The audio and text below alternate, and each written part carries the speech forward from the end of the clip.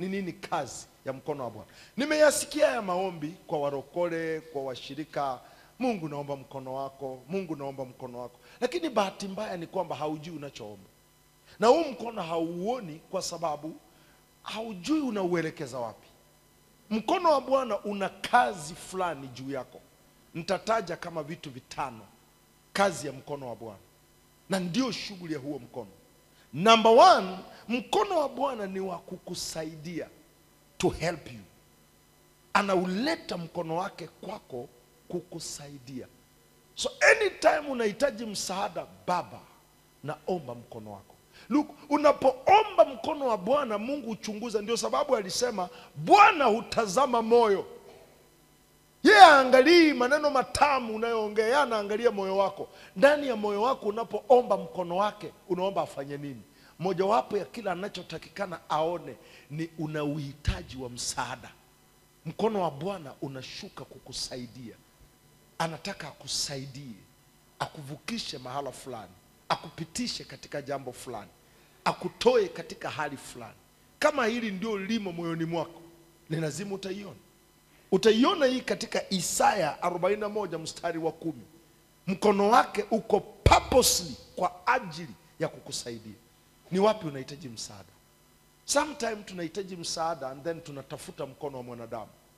Sometime tunahitaji msaada na tunatafuta mkono wa vitu, maybe ni mkono wa hela, but mkono wa Mungu kazi yake kubwa ni nisaidie.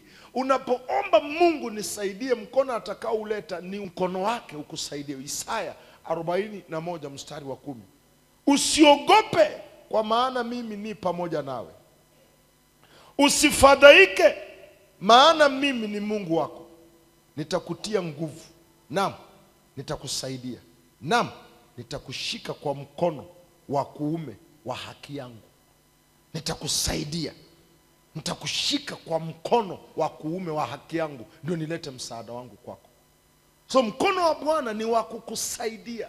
I wish katika mfungo wako, I wish katika kuomba kwako unalilia huu mkono wa Bwana, sio kwa ajili ya kitu kingine. Una haja ya msaada, una lengo la kusaidiwa, so ni lazima ijulikane unataka kusaidiwa wapi.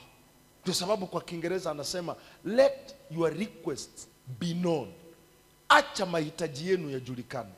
So tuna tatizo la wana wa Mungu wanaomba vitu vya kubahatisha sana. Lazima Mungu atege sikio sana kwa muda mrefu sana, ndio ajue huyu mtu anaombea nini. Lazima Mungu aweke umakini sana, ndio ajue huyu mtoto anataka nini. Akiangalia moyoni haoni kitu, lakini anaona mdomo uko bize, mdomo uko bize na kelele nyingi, lakini kiukweli ni kwamba hasikii kwa maneno yako na haoni moyoni mwako. Mkono wa Mungu upo kwa ajili ya kukusaidia. So kama una uhitaji na unajua nini, sikiliza, msaada sio, uwezi ukaitisha tu msaada kwa kitu chochote. You can't do that. Msaada unaitisha kwa sababu umelemewa. Msaada unaitisha kwa sababu kuna kitu ni kizito kuzidi wewe.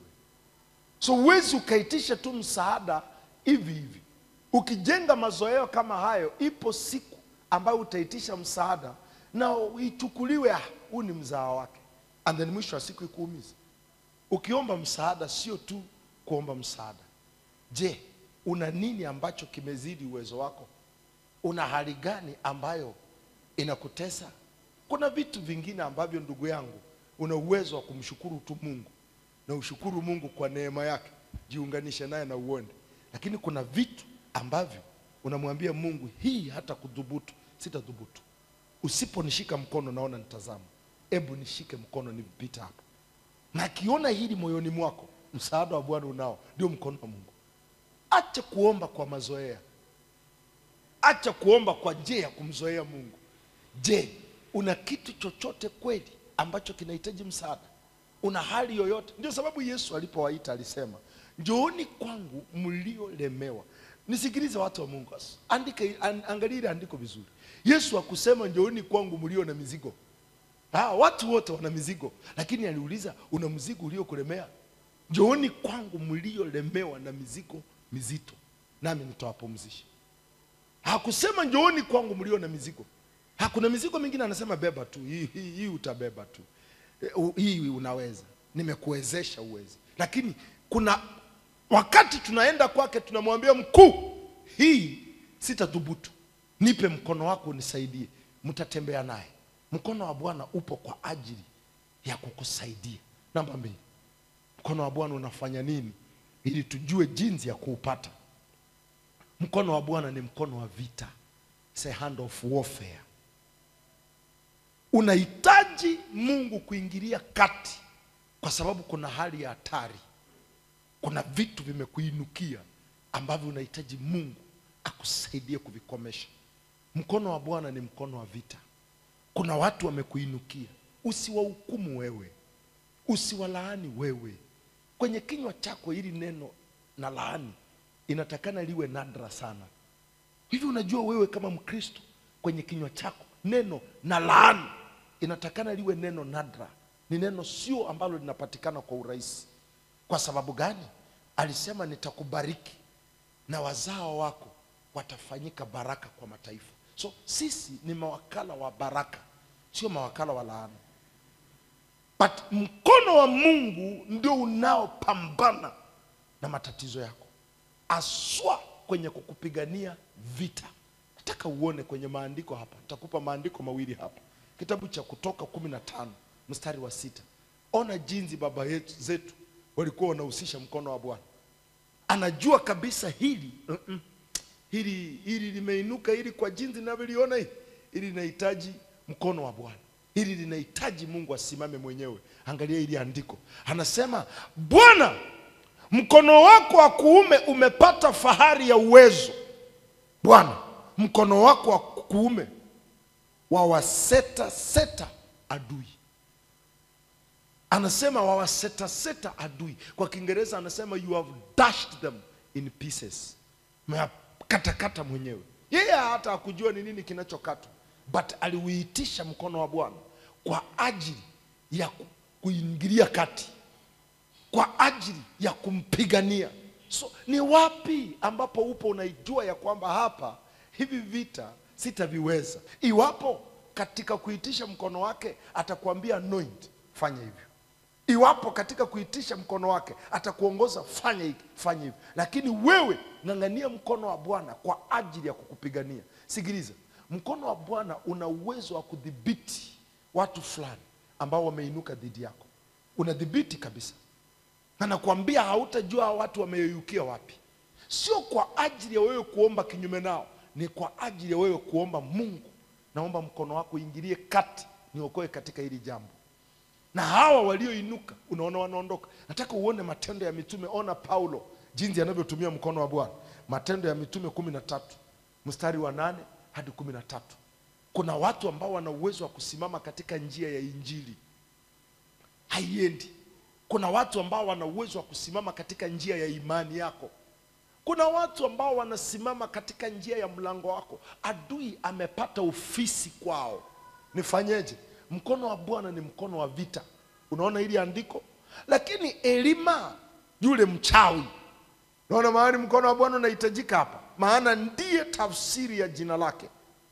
Akashindana nao. Sijui ni nini kinashindana na wewe. Akitaka kumtia yule liwali moyo wa kuiacha ile imani.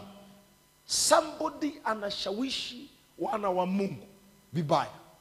Mi kama mchungaji niombeje mungu nyosha mkono wako. Si, siombi ya kitu kingine. Mungu nyosha mkono wako. Kwa sababu mungu anadhamini watu wake.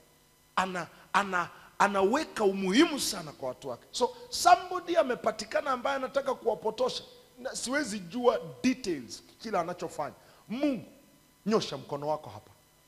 Okoa nafsi yako. Angalia kilichofanyika hapa. Lakini sauli ambaye ndiye paulo akijaa roho mtakatifu akamkazia macho. Akasema ewe mwenye kujaa hila na uovu wote mwana wa ibilisi adui wa haki yote huachi kuzipotoa njia za bwana zilizonyoka. Anasema basi angalia mkono wa bwana ujuu yako. Unaona mahali paulo alienda? Hakuchukua mamlaka mkononi mwake akasema na kuua nao hiyo umerudi duniani alisema najua cha kufanyia. Mkono wa bwana ujuu yako nao utakuwa kipofu. Usilione jua kwa muda mara kiwi kikamwagukia na giza akazunguka zunguka. Biblia inasema akazunguka zunguka na kumtafuta mtu wa kumshika mkono na kumwongoza mkono wa bwana ulikuwa umeingia vitani ili kudhibiti adui wa neno la bwana kuna watu ambao ni adui wa kila tendo la bwana. Huna haja ya kujenga chuki ndani yako. Omba mkono wa bwana. Namba tatu. Mkono wa bwana unafanya nini? Mkono wa bwana ni mkono unaokushikilia. He upholds you. Isikilize kwa umakini. Mkono wa bwana unakushikilia. Neno la mungu linasema aliyesimama aangalie asianguke. Kama unahitaji nguvu ya kukusaidia uendelee nguvu ya kukusaidia. Kile ulichoanzisha ufikishe mwisho. Hatua hizi za ukristo sio rahisi. Utunze wokovu wako mpaka mwisho. Ruhusu mkono wa bwana. Mkono wa bwana unakushikilia. Ndio unaosababisha umeanza. And then watu wanasema mpeni muda. Mpe muda tu. Atazimia. Lakini cha ajabu ni kwamba ndio wanaenda una, wakikuona unatanuka tu.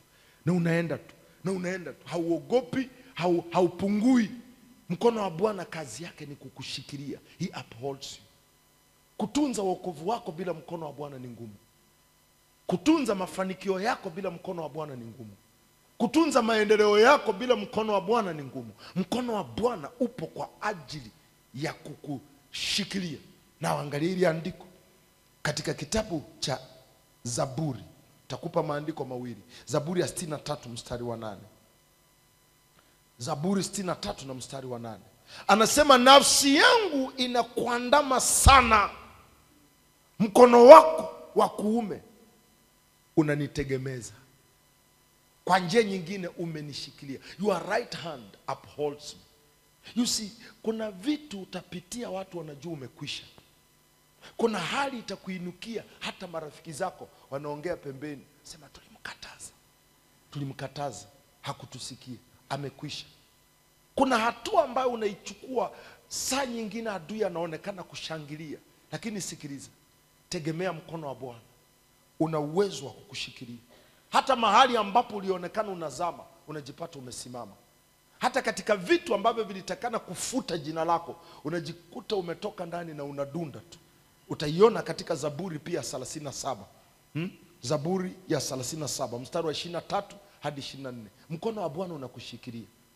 So kama uko hapa leo hii na unahisi kuzimia unajisikia kurudi nyuma maybe kwa masimango ya watu. Watu wamekusema vitu sana mpaka unaona uwezi endelea. Nisikilize. Usiseme unatafuta mtu utafute mkono wa bwana. Mungu naomba mkono wako unishikilie nimalize safari yangu. Mkono wako unishikilie nitimize kusudi lako hautatimiza kusudi la bwana bila kushikiliwa. Unaona zaburi 37 mstari wa 23 hadi ishirini na nne. Anasema hatua za mtu zaimarishwa na bwana naye aipenda njia yake. Anasema ajapojikwaa hataanguka chini. Na kutabiria hautaanguka katika jina la yesu. Na kwa nini? Anasema bwana humshika mkono na kumtegemeza. So kuanguka kwako ni kwa sababu ulijitoa kwenye network ya mungu. Lakini kwenye ume, umeunganika naye nisikilize kuteleza kwako sio kuanguka. Mkono wa bwana upo kwa ajili ya kukushikilia. Siruhusu adui kushangilia kwako. Siruhusu adui kujipiga kifua naseme aseme tumemmaliza. Una uwezo wa kudunda tena. Una uwezo wa kuinuka tena. Because kuna mkono wa bwana ambao unakushikilia. Namba nne mkono wa bwana ni mkono wa miujiza. Its a hand of miracles. Muujiza ni nini? Kitu kinachozidi uwezo wako kinachozidi maelezo yako. Yaani hauhusiki wewe. Ameamua kukutendea hiki kitu ambacho ha- ha- hauwezi ukakieleza ndio muujiza. Ameamua kukufungulia mlango sio kwa sababu ya bidii yako sio kwa sababu ya nguvu zako bali ameamua tu kukupa muujiza ni kitu ambacho hukutarajia didn't expect it lakini amekifanya ni kitu ambacho ha, hauendani nacho. Na nisikilize, mtu wa Mungu, kinachofanya wokovu uwe mtamu ni miujiza. Miracles make Christianity sweet. Bila miujiza unabaki ni nguvu zako, unabaki na uwezo wako. Ndio sababu Daudi alisema This is the doing of the Lord and it is marvelous in our eyes. Haya ni matendo ya Mungu na ni ya- ajabu machoni mwetu. Bila muujiza katika uchumi wako, inamaanisha umebaki kwa mshahara. Bila muujiza katika afya yako, inamaanisha umebaki kwa diet, kula matango, kula ndizi, kula matawi mengi, kula hizi and then unajigamba, unajua mimi nakula vizuri, ndio sababu siumu. Kuna watu wanakula hizo vitu na wanauma vibaya mno wanauma vibaya mno, lakini kuna watu ambao muujiza wa Bwana unaonekana, hata yeye mwenyewe ukimuuliza anakula vitu gani ajui, lakini jamaa ana afya. Ukimpima kutoka kichwani mpaka mguu, hutawahi ona ugonjwa wowote ndani yake, na ajui mambo ya lishe, anaishi kwa muujiza. Kuna watu ambao sio kwamba anafanya vitu vingi unavyofanya, lakini halali njaa.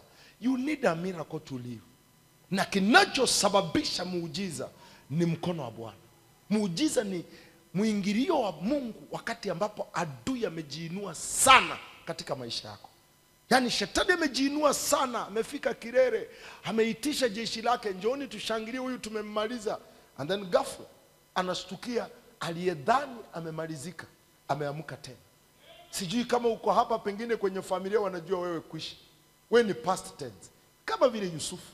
Baba yake mbona alikuwa amesha jua ya kwamba mwanaye amekufa? Baba yake alishaimba nyimbo nyingi sana za maombolezo, lakini sikiliza na uone jinsi Yusufu anarudi. Baba yake yuko nyumbani, anastukia magari yanatoka Misri. Kwanza aliona chakula, wakamwambia bwana, kuna mtu Misri amesema tukuletee magunia, hatumjui huyu huyu jamaa anafanana kama mwanao, lakini tunaona ni mazingoombwe. Hivi ndio aliambia Yakobo. Biblia inasema siku aliyojitambulisha Yusufu akatuma magari yaende abebe baba yao. Biblia inasema Yakobo alipoona magari na akasikia ya kwamba Yusufu yu hai na ni waziri mkuu, moyo wake ukaamka. Muujiza uliamsha moyo wake. Yaani mahali ambapo umekata tamaa, muujiza ukiingia, tumaini linarudi hali ndio sababu nimetangulia kwa kukwambia ukikosa muujiza sikiliza brother wokovu ni mzigo kinachotofautisha wokovu na dini muujiza. You need to learn a miracle. Wakati uko chini kifedha haujui uende wapi. Somebody ana huku mtarajia huku muomba unaona ameshika mfuko akiondoka nyekundu nyekundu. Ukiangalia mkononi unashangaa. Hata ningefanya vibarua ningefanya vibarua vingapi? Huu ndio unaitwa muujiza. Ulikuwa unajua na umejisajili ya kwamba unalala njaa unalala njaa umeshajisajili. Unajua kuna mtu ambaye umeangalia huku na huku hauoni dalili ya kula. Na ushajisajili ya kwamba basi mungu nitafunga. Sio kwamba ni mfungo wa maombi ni mfungo kwa sababu hali imekutuma. And then ghafla unasikia and then amekuja na gunia la mchele na mafuta. Dagaa zikozi hapo. Kila kitu kipo. Huo ndio muujiza. Hiki ndio kinachotengeneza ukristo. Na ndio wanafunzi wa yesu walijua ya kwamba tukitaka safari yetu iwe tamu. Tunahitaji muujiza hapa. La sivyo tutakuwa tunatoa maelezo ya tiba tutakuwa tunatoa maelezo ya nini na nini. Tunahitaji muujiza. Kitabu cha matendo ya mitume sura ya nne. Angalia uone maombi ya hawa jamaa. Matendo ya mitume sura ya nne mstari wa ishirini na tisa hadi thelathini. Matendo ya mitume sura ya tisa na mstari wa thelathini. Anasema basi sasa bwana yaangalie matisho yao. Ukawajalie watumwa wako. Kunena neno lako kwa ujasiri wote. Ukinyosha mkono wako kuponya ishara na maajabu vifanyike kwa jina la mtumishi wako mtakatifu yesu.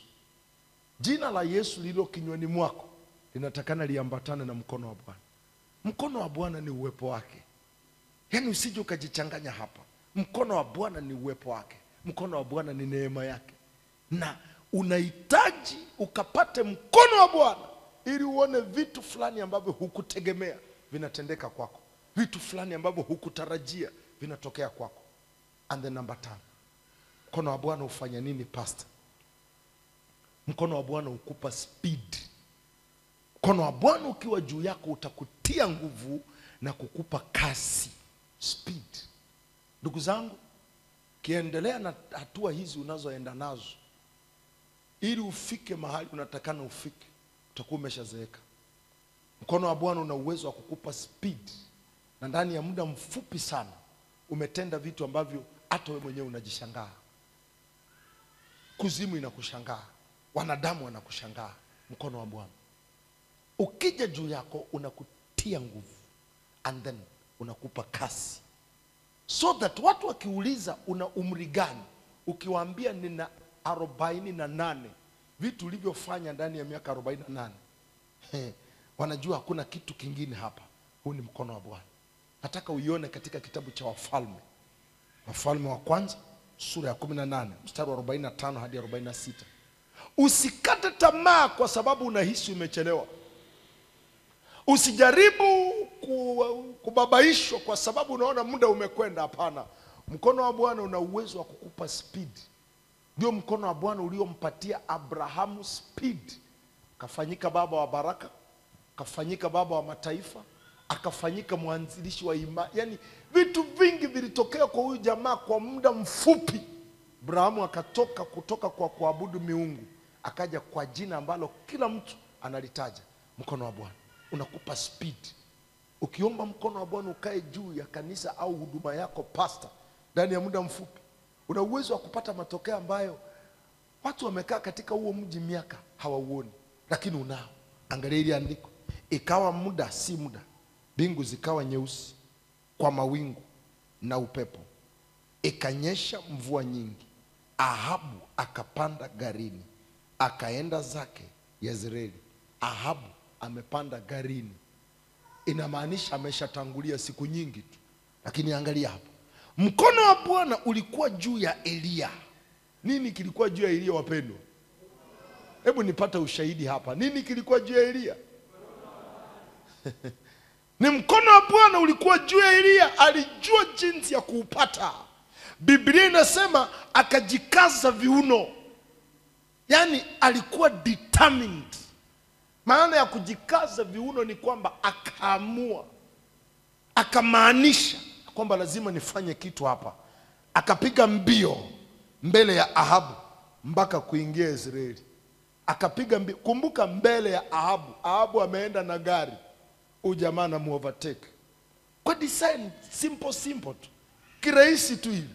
Jamaa anamuovertake ahabu anafika elia amefika. Muulizi ulikujaje hapa? Mkono wa bwana ulikuwa juu yangu mkono wa bwana ndio unakupa nguvu ya kuovertake. Una uwezo wa kupata mkono wa bwana ndugu yangu. Vitu ambavyo vimegharimu baba yako miaka ishirini kutimiza. Unatimiza na miaka mitano. In five years umemaliza yote matokeo ya baba yako. Hiyo ingine inayoongeza baba yako ameanza kuogopa. Sio kwamba anakuogopa kwa kukuinamia. Anakuogopa kwa sababu anaona kitu ndani yako. Nini? Mkono wa bwana. Na wacha tusonge mbele kidogo ili tukusaidie pasta na upataje mkono wa bwana na uchochea namna gani mkono wa bwana. Nataka unisikilize kwa umakini. Hili neno limefanyika baraka kwangu. Hili neno limefanyika la muhimu sana kwangu. Nilifundishwa na mchungaji wangu akasema hivi baraka ya bwana you know, upendo wa mungu ni bure. Mungu anapenda kila mtu. The love of god is free. Lakini baraka za mungu are conditional. Zina vigezo. Ni lazima kwenye ukifika kwenye baraka ya mungu ni lazima ujialign na jinsi maandiko yanavyosema. Upendo wa mungu ni bure. That's why biblia inasema jinsi mungu alivyoupenda ulimwengu. Hakusema jinsi mungu alivyompenda mtu fulani alipenda ulimwengu. Wachawi wamo wote wamo. Akamtoa mwanaye wa pekee alimtoa kwa kila mtu. Lakini hujawahi sikia akitumia ile andiko jinsi mungu alivyobariki ulimwengu. No, no, no. ikifika kwenye baraka zake there are conditions. Na ndio inaitwa agano. Maana ya agano ni kwamba kuna vitu fulani mungu atakuagiza nenda hivi nenda hivi and then hiki kinapatikana. Ni funguo za baraka. Anybody ambaye atakudanganya ya kwamba utafukaa tu na ah, ah, haiwezekani hivyo there is a way you are lying. Nikupe mfano. Upendo wa mungu amependa kila mtu lakini wokovu ni baraka yake. Salvation is a blessing.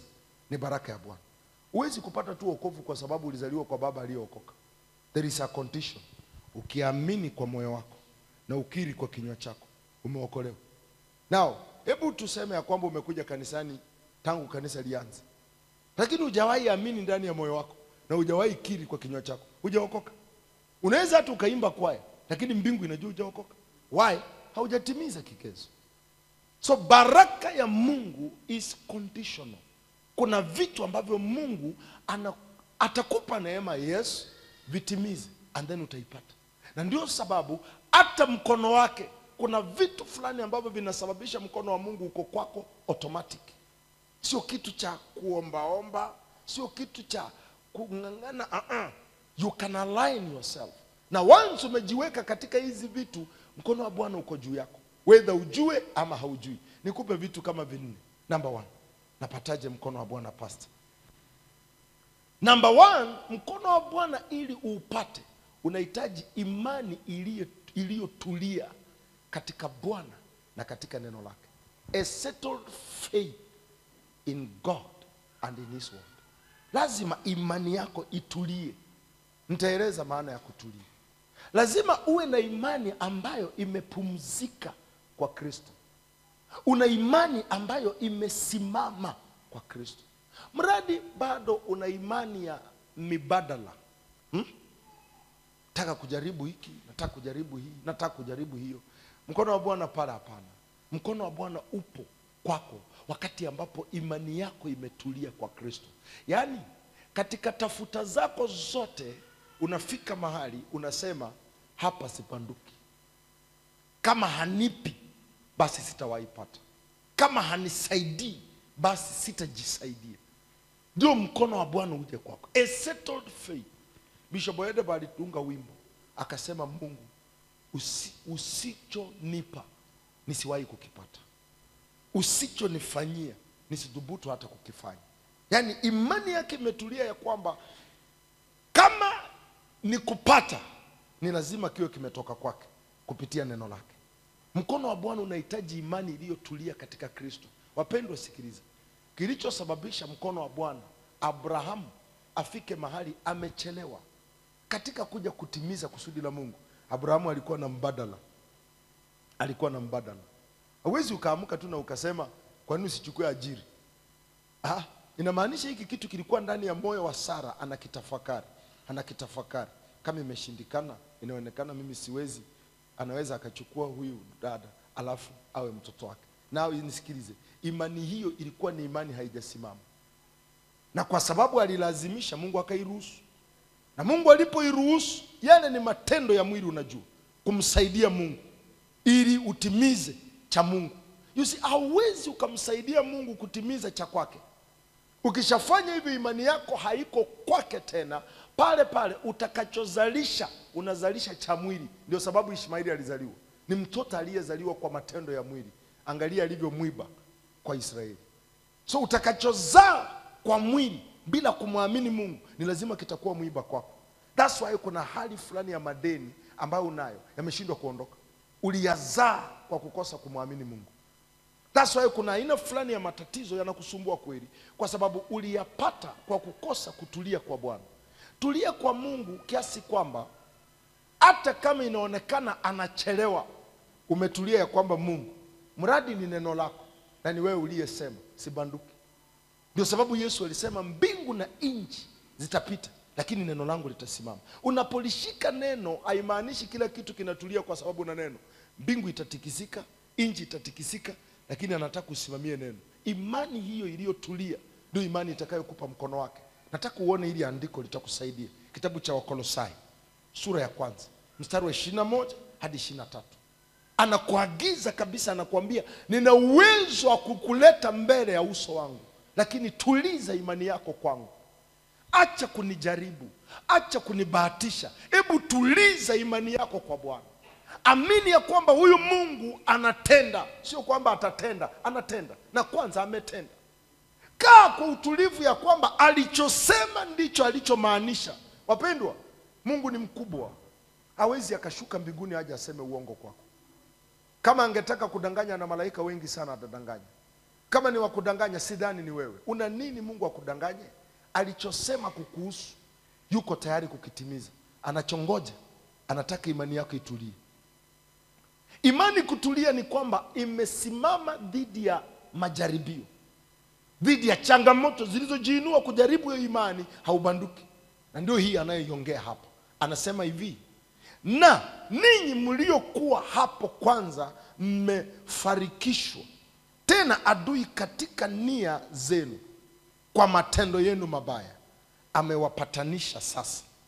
Sasa kwa sababu mmepatanishwa angalia anachotaka katika mwili wake wa nyama yake kwa kufa kwake. Lengo lake ili awalete nyinyi mbele zake. Anataka lengo lake anataka akuweke mbele yake mkono wake uwe kwako. Unaona vile unavyoleta mtoto wako karibu and then kinachofuata ni nini? Mkono wako unamkumbatia. Kwa sababu yuko. Mtoto hawezi akawa akula alafu umkumbatie. Utamkumbatiaje sasa? Anakuwa yuko karibu na wewe. Ametulia. Ili niweke mkono wangu kwa mtoto ni lazima ametulia. Unaonaje huyu mtoto yuko karibu dadi narudi. Alafu nakuja. Dadi narudi. Utaweka mkono. Ambia enda ume- ukimaliza uje. Lakini akishatulia na ameweka kichwa chake kwa kifua chako and then mkono unawekwa. Sasa angalia anachosema. Ili awaweke mbele yake watakatifu wasio na mawaa wala lawama. Kwa njia gani? Mkidumu tu katika ile imani ili upate hicho chenye kipo pale mbele hii ndio condition. That's why nilikwambia baraka ya mungu ina vigezo. Anasema ikiwa mtadumu katika ile imani hali mme- mmewekwa juu ya msingi mkawa imara settled. Ndio maana ile andiko. Mkawa imara msio msi, msipogeuzwa na kuliacha tumaini la injili mlioisikia habari zake iliyohubiriwa katika viumbe vyote vilivyo chini ya mbingu ambavyo mimi paulo nalikuwa mhudumu wake.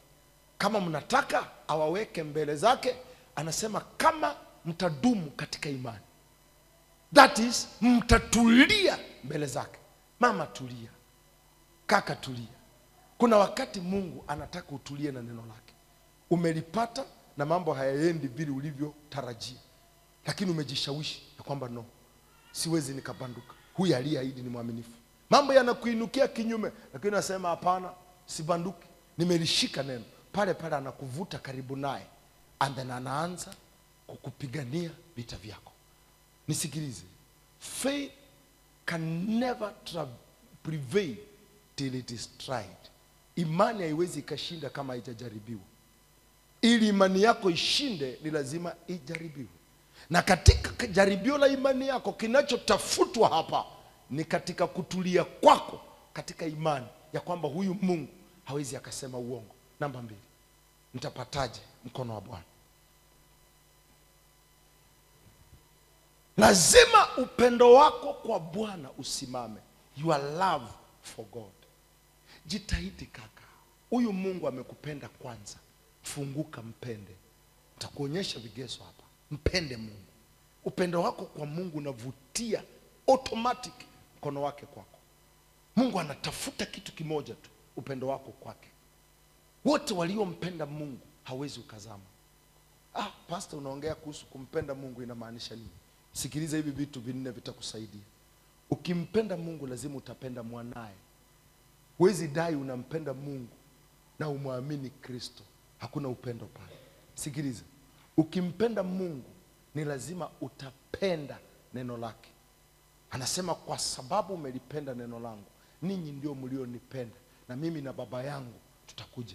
Ukimpenda mungu ni lazima utapenda neno lake. So utajua kama unampenda mungu kulingana na mvuto ulionao kwa kristo utajua unampenda mungu kulingana na msukumo na haja na njaa ulionayo kwenye neno lake. Sikiliza ukimpenda mungu utaipenda nyumba yake.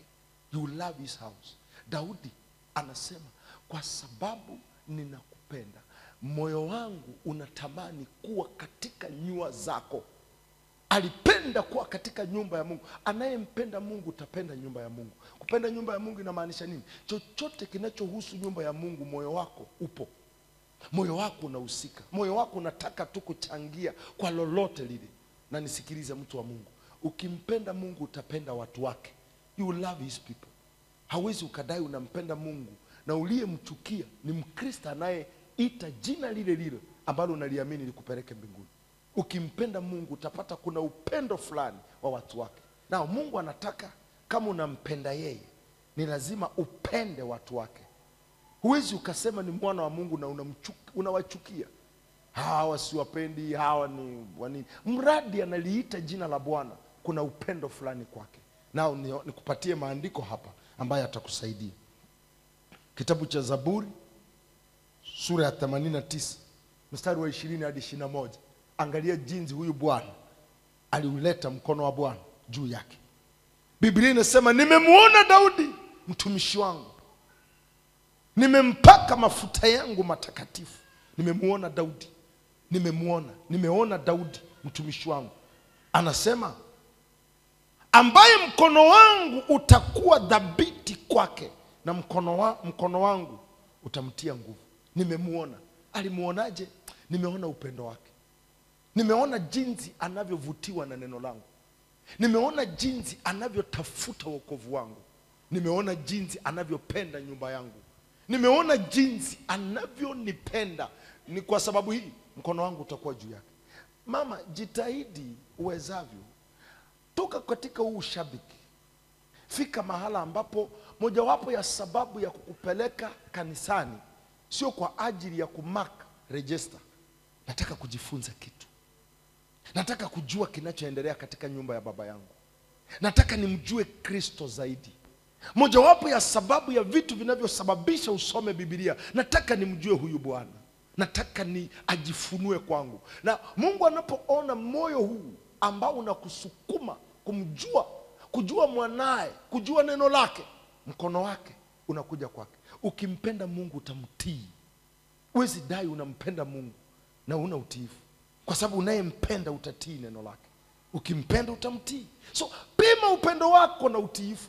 Pima upendo wako na muda wako kuna neno. Pima upendo wako na jinsi unavyopata msukumo wa vitu vya mungu haswa nyumba yake. Pima upendo wako na jinsi unavyoshughulika na watu wake. And the namba tatu. Pendo wa mungu. Mkono wa bwana. Kabla sijaenda namba tatu angalia zaburi tisini na moja. Mstari wa kumi na nne hadi kumi na tano anakuonyesha jinsi utabeba mkono wake. Masaa yote. Anasema kwa kuwa ameka, um, amekaza kunipenda nitamwokoa na kumweka palipo juu. Kwa kuwa amenijua jina amelijua jina langu ataniita nami nitamwitikia. Nitakuwa pamoja naye taabuni. Nitamwokoa na kumtukuza. Kwa kuwa amenipenda you see, kuna kipimo hapa na nimejitahidi ni kuonyesha hiki kipimo kinaenda wapi. Umeokoka una muda na neno la mungu. Umeokoka una muda na kristo. Yaani ni ni mtu tu kwako. Umeokoka una muda kabisa na neno lake. Unaokoka una muda na kinachoendelea katika nyumba ya mungu. Umeokoka una muda kabisa na watu wake. Nisikilize una mzigo wa kuona nafsi kuona waliookoka wachanga wanainuka wanasimama. Huna muda kabisa huna muda. Nisikilize kwa njia hii mkono wa mungu huwezi kuwa kwako. Anayetaka mkono wa mungu ni lazima ujiamini kumpendeza mungu. Seek to please him. Chochote unachofanya tamani umpendeze mungu. Umpendezi mungu kwa kumtolea sadaka. Unampendeza mungu kwa kulitii neno lake. Unampendeza mungu kwa kujenga ushirika wa karibu sana na mwanaye. Namba tatu tunamalizia. Mkono wa bwana na upataje pasta kupitia kuomba na kufunga. Prayer and fasting. You see kuomba sio nafasi ya wewe na mimi eh, kuleta mahitaji yetu kwa bwana. Hapana. Jukwaa la maombi ni jukwaa la ushirika. That is our fellowship with god. Ni nafasi ambayo inapokea kutoka kwake na yeye anapokea kutoka kwako. Ndio kinachoimarisha urafiki wako. Mkono wa bwana uko juu yako wakati ambapo wewe ni mpenda ushirika na bwana. Na njia ya kupenda ushirika wako unapenda sana maombi. Unapenda sana kukaa naye kumsifu kumwabudu kumtukuza kunena alichosema kukuhusu. Angalia uone kitakachokuja juu yako ni mtu ambaye una msukumo mkubwa sana. Usingoje usiwe mkristo ambaye unangoja mpaka una shida. Ndio inayokupeleka kuomba ule sio ushirika. Unaonaje ukiwa na rafiki ambaye yeye kila saa anapokuja kwako anakuja kukuomba hera pale kuna urafiki kweli? Hamna. Urafiki ni yule ambaye huyu mtu yani anacho unacho. Yani urafiki wenu sio kwa vitu. Na bwana nimekuja tu nikusalimu nimeona nimekumisi nijue tu unaendeleaje hali yako nikujulie hali na nikuone. Ndio sababu nilikuja. Barikiwe sana bwana nimekuona nimeridhika. Unaona kesho umevutiwa. Kesho kutwa anakupigia simu alo kwa nakupigia tu simu nisikie sauti yako nijue unaendeleaje. Maisha yanaendaje? Na yeye kesha anakupigia. Nisikilize urafiki wenu ni mzito sana. Nini kinachoharibu uhusiano wenu upendo wenu upo kwenye vitu? Sasa ili mkono wa bwana ukae juu yako mungu anapenda ushirika. Ndio sababu alisema njooni kwa ujasiri kwenye kiti chake cha rehema na mtapewa neema na msaada wakati wa uhitaji. Ushirika wetu unachochea neema ya bwana juu yetu na ushirika wetu unachochea msaada wa bwana juu yetu. Lione katika matendo ya mitume sura ya 40 sura ya 4 mstari wa 30 hadi 31 ona walivyopata mkono wa bwana. Mfano mzuri upo kwenye biblia. Waliomba. Walimtafuta bwana. Walipiga kambi naye walikaa karibu naye kwa siku kadhaa wakiwa wanashirikiana naye wanamshirikisha mapito yao na wanamshirikisha imani yao. Usijifunze maombi yako yasiwe tu ya kumshirikisha mungu matatizo yako. Mshirikishe mungu imani yako. Mshirikishe mungu tumaini ulilonalo kwake.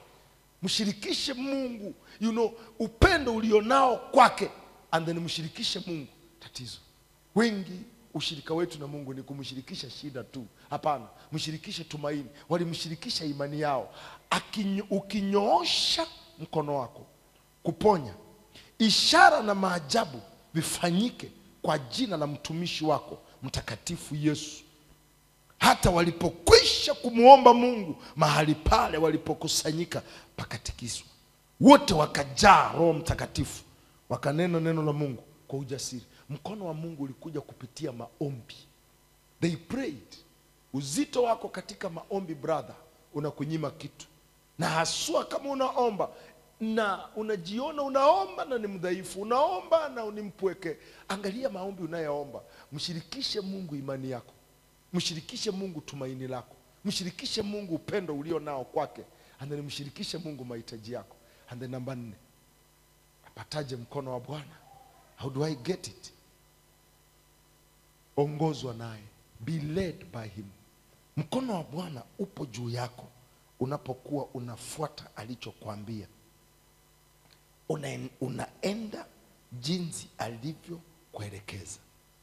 He will support you. He that has called you is faithful and he shall do it. Aliyekuita ni mwaminifu atatenda. Ni lazima uende na jinsi anavyokuongoza. Usipojifunza kuongozwa naye msikilize.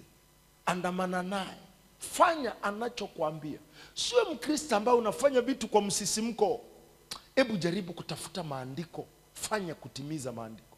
Ushawahi soma vitabu vya vya agano jipya? Kila kitu unachoona pale unasikia ki- ikiandika ikisema hii ni kulingana na neno la isaya. Yesu alikuwa anafanya kutimiza neno fulani. Hii ni kulingana na neno ambalo musa alisema. Hii ni kulingana na neno la yeremia ambalo aliahidi. So kila kitu kuhusu kristo kilitimiza maandiko. Na kwa sababu hii mkono wa bwana ukawa juu yake. Ruhusu kuongozwa. Angalia ili andiko brother. Hiki ndio kinakuweka katika mkono wa bwana. Yohana sura ya kumi mstari wa 27 hadi 29 ona mkono wa bwana una in fact hapa unatoka katika kiwango cha mungu kuweka mkono wake juu yako anakuweka ndani ya mkono wake. Umekaa ndani. Badala aweke juu yako anakuweka ndani ya mkono wake. You are in the will of god. Upo katika mapenzi yake. Acha kufanya vitu kwa kukopi and paste. Acha kufanya vitu kwa msisimko. Acha kufanya vitu kwa mkumbo. Sikiliza. Listen. Sikiliza kile ambacho mungu anakuongoza. Unaona hili andiko? Anasema kondoo wangu waisikia sauti yangu. Ni watu ambao hawafanyi tu vitu. Nami nawajua nao wanifuata. Matokeo nami nawapa uzima wa milele wala hawatapotea kamwe wala hakuna mtu atakayewapokonya katika mkono wangu. Kwa sababu wananifuata siweki mkono kwao nawaweka ndani ya mkono wangu. Mimi mwenyewe naenda nao. Na ndio sababu alisema nimekuchora katika kiganja cha mkono wangu. Kwa sababu gani? Unanifuata. Angalia linalofuata. Anasema baba yangu aliyenipa hao ni mkuu kuliko wote wala hakuna mtu awezaye kuwapokonya katika mkono wa baba yangu. Yaani mkono wa mwana na mkono wa baba uko na wewe. Niambie hapo utashindwaje? Kwa sababu unaongozwa dada yangu wacha kuinamia presha za maisha.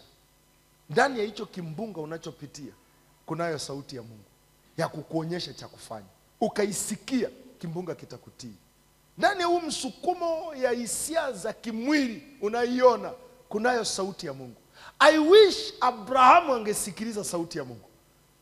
Angelienda na mkono wa bwana na asingelipitia aibu ambayo iliipitia kuna mambo ambayo umetii presha ya mwili. Yakaja akakuletea matatizo makubwa. I wish unaweza tulia umsikilize bwana. Ndio sababu daudi anasema nalimngoja bwana. Anasema kondoo wangu wanasikia sauti yangu. Na hakuna wa kuwatoa katika mkono wangu nilitumwa na hili neno nije nikufundishe. Na imani yangu ni kwamba kuanzia sasa mkono wa bwana utakuwa juu yako. Hautaaibika katika jina la yesu. Hautapotea katika jina la yesu. Hautaangaishwa katika jina la yesu. Unachodhani ni kikubwa utakiona kikiwa kidogo mkononi mwako katika jina la yesu. Nenda na mkono wake. Ruhusu hivi vitu. Kaka boresha upendo wako kwa bwana. Kuwa na msukumo na vitu vya mungu have the zeal for the things of god. Acha kuwa mgeni kwa vitu vya mungu. Acha kuwa you know mwenye umekaa pembeni kwa vitu vya mungu. Acha neno la mungu likuvutie. Acha nyumba ya mungu ikuvutie. Acha mwana wa mungu akuvutie. Isipite siku kabla hujalitaja hilo jina. Sio tu kwa hatari bali kwa upendo. Isipite siku kabla hujalitaja hilo jina. Jesus. Isipite siku jenga urafiki naye. Tatizo lenu ni kwamba mna urafiki sana na wachungaji. Mna urafiki sana na vyeo mlivyo navyo kanisani. Lakini hamna urafiki na huyu ambaye ni mwenye cheo. Hamna urafiki na huyu ambaye ni mwenye mchungaji. Jenga urafiki naye. Katika kuomba kwake kwako. Usimuhusishe tu katika changamoto. Muhusishe katika wema na baraka aliyokupatia simama tafadhali thank you jesus